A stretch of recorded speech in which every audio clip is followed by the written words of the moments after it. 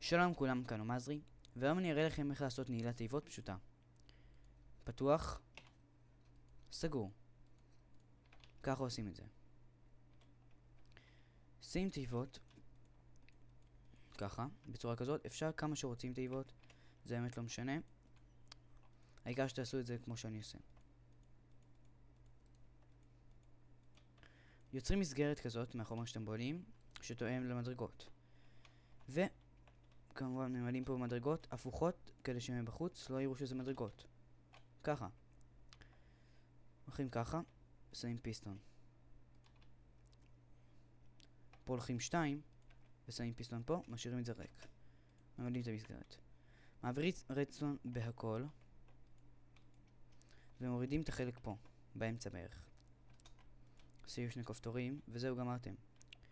זה סגור, וזה יהיה פתוח.